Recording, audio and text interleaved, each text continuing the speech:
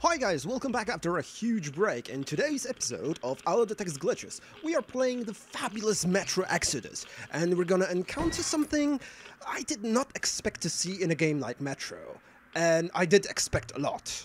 Here is The chandelier from another dimension. I swear to gods, this thing just looks like it was alive, and it's definitely a chandelier I'm not gonna swing from.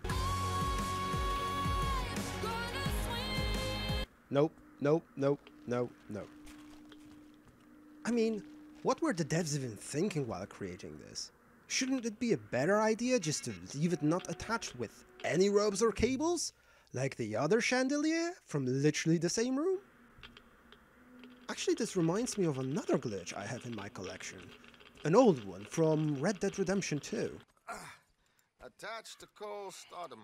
Just wondering if any of you guys encountered this while playing Metro. Either way, thanks for watching and remember to like, comment and subscribe. Clicks that cost nothing, but help my channel grow. Till next glitch, ta-ta!